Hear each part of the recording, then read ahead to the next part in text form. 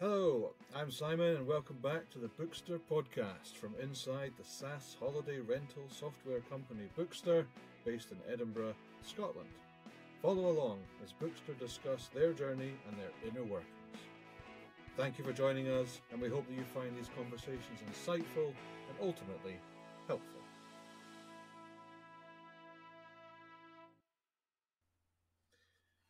Now, I'm joined today, as always, by CEO and co founder of Bookster, Robin Morris. Robin, how are you this morning? I'm very well, Simon. How's yourself? Good, very well, thank you. Thanks for your time again today.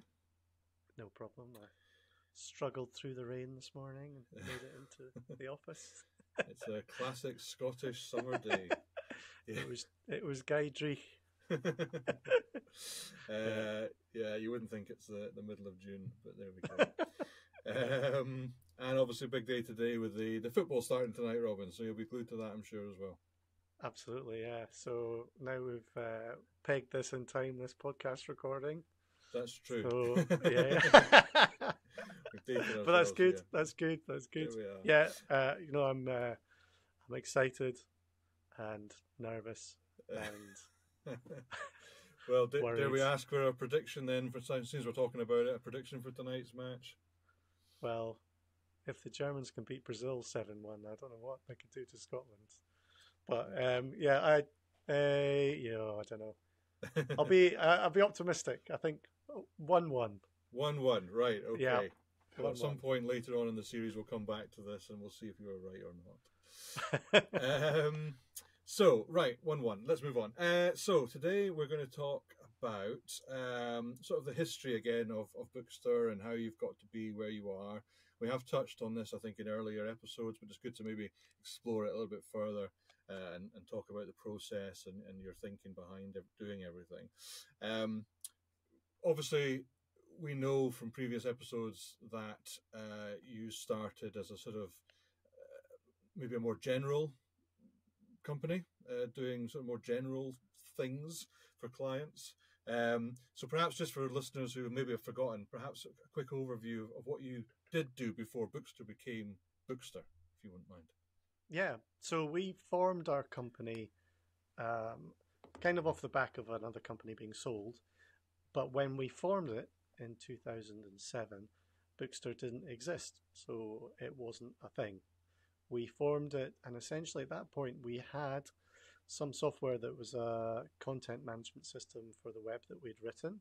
So for sort of directories of things, um, you know, listing things and searching uh, things on a website, um, whether that was uh, su- suppliers of, of products or campsites and caravan parks or properties, holiday properties, or um, lists of members of a you know membership organizations, uh, kind of very broad, but a um, content management system that had all sorts of functionality, allowed people to log in and update their content, etc.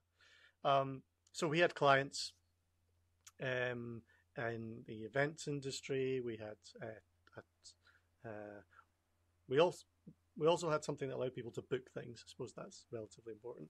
So we had clients in the events industry, clients in the, uh, the theatre industry, we had clients uh, in publishing. So publishers used our content management system. Uh, we had clients, what else? Uh, we had clients in uh, MotoGP, uh, racing. who who else we had? Um, all sorts, basically, and essentially we were we made most of our money really through uh, contracts with clients to do work mainly and it was sort of hourly work. So they would pay us to uh, manipulate or update our platform or make changes to the website and you know we would quote for work and uh, charge for it. That was mostly how we were making our money. Right. At that time. And I guess that's probably the way a lot of web companies start, perhaps, in, in doing that and getting a foot in the door. Yeah. So I think most uh, web agencies, you might call them. So people who build websites for people, um, that's how they operate. They might build WordPress websites, say, and they charge a one-off fee or um, hourly fees for building the website. Uh, they may be involved in hosting them, and they can charge a little bit for that. But they're uh, essentially mostly charging for their hourly work. Um, uh, or they might be, yeah, we were sort of contractors to some extent. You know, we were building new bits of software for people based on their specifications to some extent. They said this is how we want it to work, and we would, you know, we'd have an input obviously, but mainly it was kind of very heavily led by the client in terms of what they wanted. So yes, that there are lots and lots of people in that uh, state where they, yeah, that's what they do. As their business mm-hmm. model. They charge people for their uh, services basically in that way, whether it's web agency or software developers, um, or contracting software developers, etc. Yeah, so we were. That's really what we were doing. And I mean, how long did you do that for then? Um, so we did that, just doing that really for a couple of years. Well, actually, I mean, uh, it wasn't like we stopped doing it immediately. It was a kind of phase out. So, um, yeah, Bookster um, came about as an idea in at the end of 2008, roughly, and our idea for that was um, and I think we did this because, you know, like lots of other people, we wanted to be able to build something that um, we could sell as a software product, really, as a software service. Um, and yeah, we had this idea of a book now button for your holiday rental website. You could pay us a monthly fee and uh, set your property up and allow you to take direct bookings on your website. That was the point of it, um, and it would be yeah, software as a service. Um, and so we started out uh, with no clients, and slowly but surely we had one or two clients, but um, still, vast majority of our business was um, paid piecemeal or hourly work. Um, so yeah, we were really continuing to do that for a good seven, eight years, definitely. I mean, we still do some work like that, but mm-hmm. uh, it's not where we make most of our money. Right. So I'm, I'm interested. I mean, we'll talk about um, you know this further. I'm going to go back a step though. Just I'm interested. You mentioned a few podcasts before this. It's just about this idea of having this book now button. Um, I mean, it sounds like when you say it, it's kind of a revolutionary idea that changes the course of the company and everything. I mean, uh, book now button is not an original idea, I'm guessing, but it obviously was important enough to change your way of working. So this is a very uh, it's very difficult to put yourself in that position in 2007, but virtually nobody took instant direct bookings for holiday rentals in 2007. Oh, right, okay. It, it was very, very rare. right. Okay. Uh, so, um, this is, yeah, people will forget what state things were in, I suppose, in different uh, times. But, um, yeah, based, if you bear in mind, I don't know when Airbnb was formed, but Airbnb, know, 2000, well, idea, 2012 maybe, something like that. Um, and that you know websites like um, holidaylettings.co.uk or HomeAway or any of these businesses, they were all sending inquiries. So you would basically you would send an inquiry to your holiday letting uh, person, right. owner or company, and they would come back and you know most of the exchange would be done over email um, taking direct bookings, allowing someone to put their card in and book a holiday rental, was actually very, very rare. Some of the larger companies might be doing it, but certainly as an individual property owner, it was very difficult. Um. So, in terms of uh, being early and seeing that, we were very early actually. Right, okay. um, so we were definitely ahead of the curve, I suppose. And um, I mean, it was obviously what was going to happen, but there weren't that many other people, you know, doing that. Um, so and that... I was, going to say certainly with our sort of previous business. So the reason we had this capacity to take online booking was that um, in our previous business with Caravan Site Finder, which was uh, which we had, well, I was involved with from 2002 maybe to, or 2001 to 2007, and we laterally we were trying to get online booking up and running, and it was, you know, to to get holiday parks or caravan parks to do that mm. was really really tough.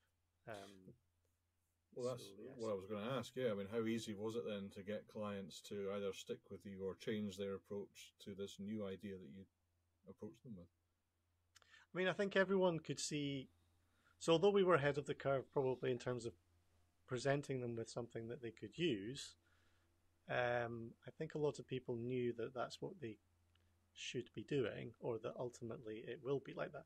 It's kind of a little bit like where electric cars are now or maybe were a couple of years ago. Everyone sort of knows that yeah. it's going to happen. Yeah. Um, but you know, they really they they they'll kind of stick in their own ways, taking emails and whatever, and they'll come up with their own. So it was hard, is the answer to that question. But um, uh, the the usual objections uh, were around um, vetting guests, really. The first one is that was right. the first objection. It's like, oh well, I, I actually, you know, my holiday home is special, and I don't just let anyone stay in it. So I have to vet people, mm. and some people I don't let in.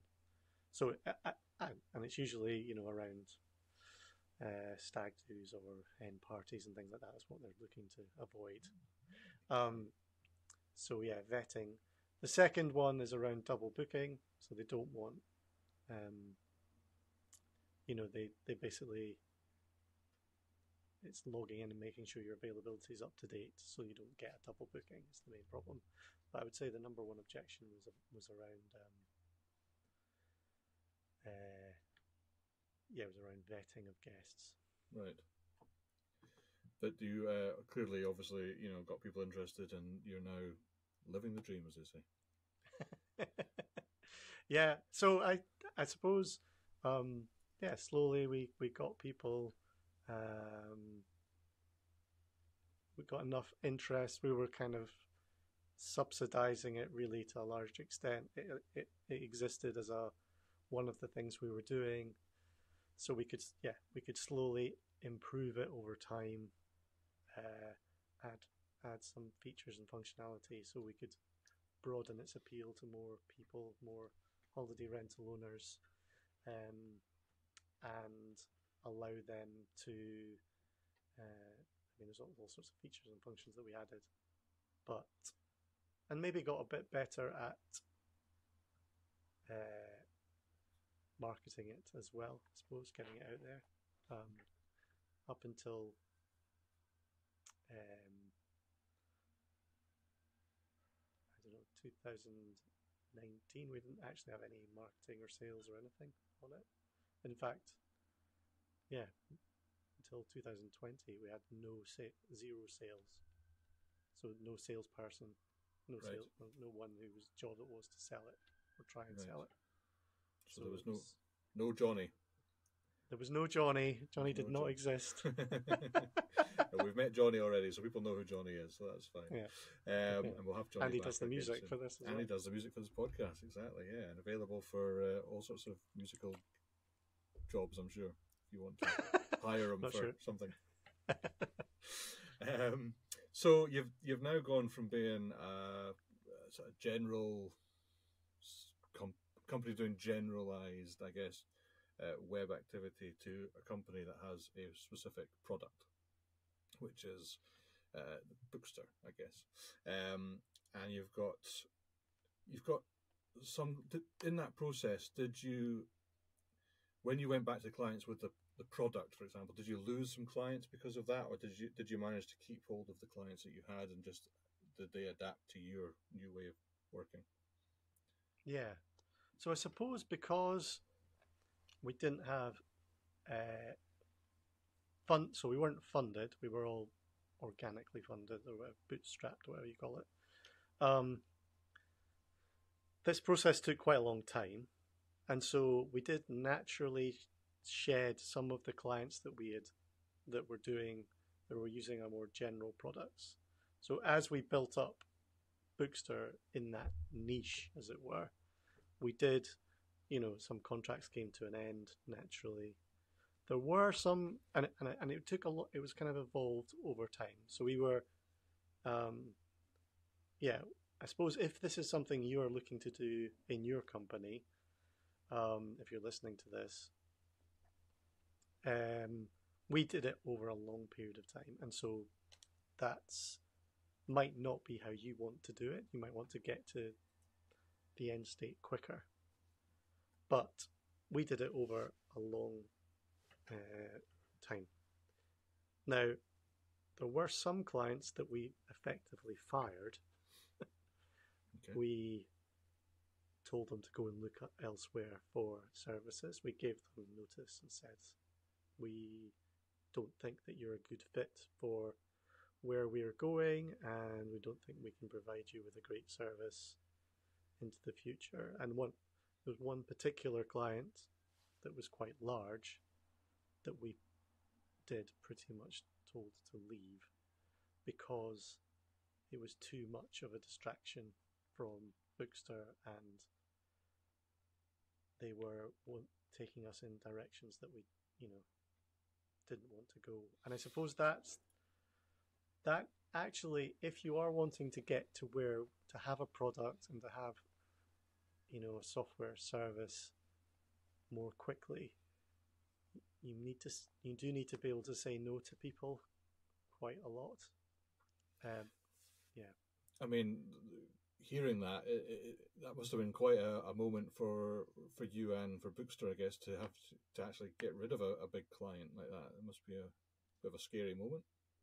Yes, yeah, yeah, it was, and um, it is still quite difficult to say no to people who are offering you money to do certain things, to take either to take Bookster in a certain direction or add certain functionality. It's unless it's something that we already wanted to do, or we can really see how it would really benefit Bookster, it's you kind of have to say no to people, and that's what's quite tricky when you've made that decision to right, okay, we're going to try and take the company in a direction where we ultimately have this product that we're going to try and make stand on its own feet. Mm. You can't spend time building software that's just totally for one particular client, even though they're paying you, and it might seem like they're paying you a reasonable amount of money for it, because it distracts you from building the product, but it also creates a bunch of software you have to maintain and look after uh, into the future, which sucks up resources. So yeah, that's it is quite mm. difficult. So um, your your product now then is is very much bookster led rather than client led. I mean, you you tell them in a sense what you're doing and they either yeah. get on board or not, I guess. Yeah, and I think that's so. It's obviously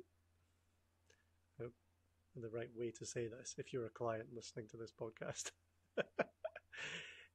it's not that we don't listen to clients and make Bookster better for our clients based on their feedback. That is uh, is definitely a big part of trying to make it better is people will tell you when you're making when it's really wrong or they might come up with really great ideas but that's quite different from a client leading a specific um, development or a function or paying you specifically to do something is quite. I mean, not. It's like never say never. If someone said, "Oh, here's lots and lots and lots of money," will you build it to do this? Then it's going to be difficult to say no to that. You might say yes and say, right, okay, we'll take that hit because sure. it allows us to do all sorts of things.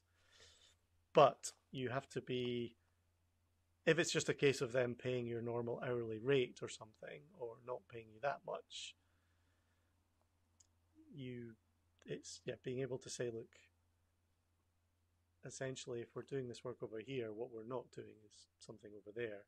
Mm-hmm. thing over there benefits all of our users. This over here only benefits a couple of our users. They are paying us for it, but so how do you say no to them in a nice way or say, look, we might get around to that later, but we just can't do it. So yeah, it's that.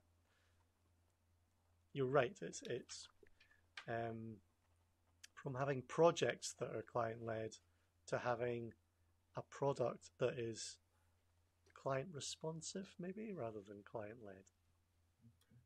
But I mean, I think that's, and for anyone listening who are your clients, I guess, and potential clients, um, I, I think that from an outsider's point of view sounds like you're a company that will then focus on the product rather than you, you want to make the product the best it can be rather than just doing things for you know a bit of money here and there you're actually bookster is always going to be the best product that you can come up with because you're you're focused on what you want to do rather than being distracted, like you say, by other clients saying, "Oh, can we just add this in? Can we just add this in?" And it becomes something that it's not your vision, I guess. So, so it's it's nice to hear or good to hear that Bookster is quite focused on on what you're doing.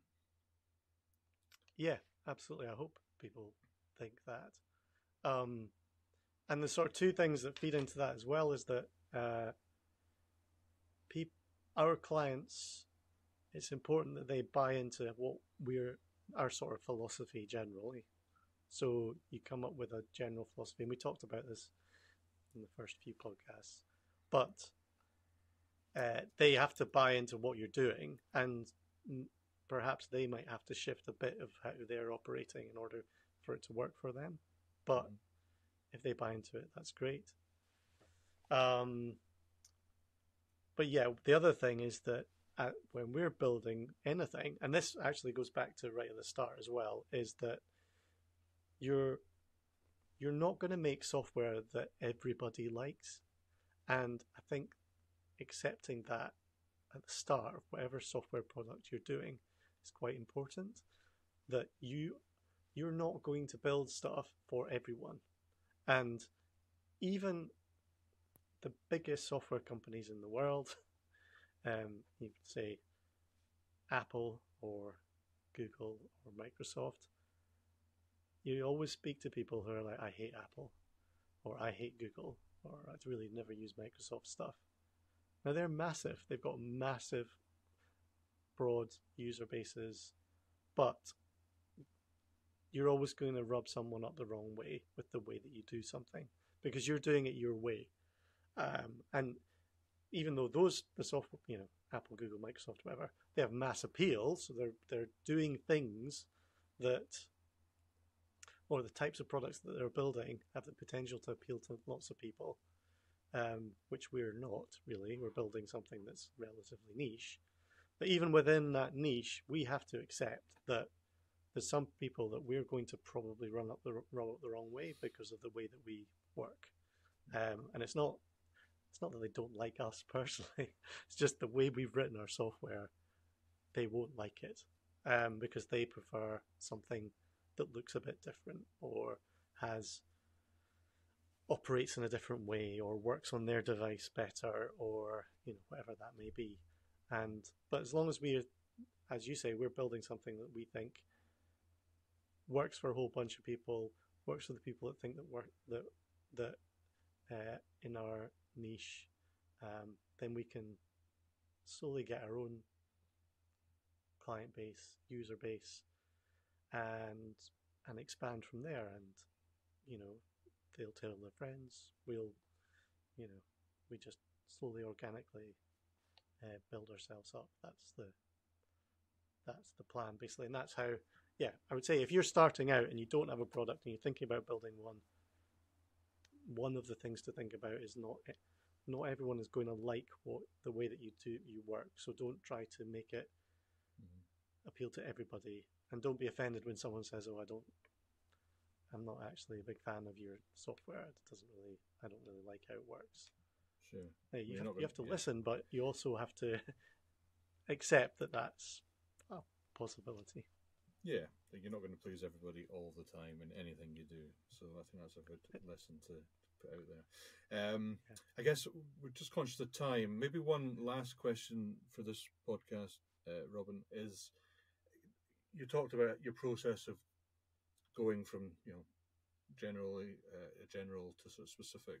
Um, if you were to do it all again, would you have started with a specific project to start product to start with, or or would you have you enjoyed the process of where you've gone and, and where you are now, or, or, or would you do it differently? Um, it would be nice to had a product that worked more quickly, that we could get a user base more quickly. I think we've been quite slow okay. in getting a user base up and running. and it's perhaps because we had lots of these other things, so we didn't we weren't forced to get a user base going. And so I think if we were to do it all again, yeah, might force ourselves to uh, go down the product road a little bit quicker mm-hmm. and okay. try and yeah maybe I'll, maybe be a little bit more so when you are taking on these bigger projects also make sure that you're you've also got something set aside to continue to build your product that you really want I don't think I would go down the and this is maybe a conversation for another podcast don't think I would go down the raising money from investors and literally it being the only thing we're doing. And if it doesn't work, it's going to explode and disappear. I don't think I would go down that road, but that was ma- that would mainly be because investors would have a very they'd be your boss basically, and that mm-hmm. you know, it's nice not to have that. Yeah, yeah, oh, but sure. um, uh, but uh, in terms of transitioning, yeah, might have done it a bit quicker. Okay. But uh, I guess you know the route you've taken is has got you to where you are now, and you're providing you know a good product for a good month, a good amount of people. So, um, so no, I guess everything has its pros and cons. But no, it's just interesting to hear uh, your thoughts, and for anyone listening, you know, should they go into a market with a product, or should they spend some time developing other things as well? I suppose it's it's different for everyone, I guess, at the end of the day. Right. Well, look, it's almost thirty minutes of this podcast, so we've we've we've chatted for a, while today. So thank you for that. It's been interesting to hear about the process a bit more involved than, than we've done in the past. So that's a, a good episode there, I think. Um, if anyone had any questions on what they've heard today or any of the other previous podcasts, do remember you can send them in to uh, podcast at booksterhq.com. Um, that's podcast at booksterhq.com. Uh, we've also got our sister podcast, which is Smashing Your Holiday Rental Goals. Uh, that's uh, hosted by Kelly, who was on our podcast, uh, or is going to be on our podcast, depending on which order you listen to these podcasts in. but you will uh, you'll hear her or will have heard her. Uh, anyway, so I'd recommend going to listen to that podcast as well and leave a favourable review on that one, please, and also this podcast if you can as well. Um, Robin, thank you for your time today. Thank you very much. And uh, we shall meet again soon and see if your predictions for the football was correct or not. Uh, What's your prediction? My prediction. uh, okay, uh, well, my prediction then, I'll say it's probably going to be 2 1 to Germany. Oh man, I'm afraid. Yeah, you're probably right. um, but anyway, one of us will be right or whatever.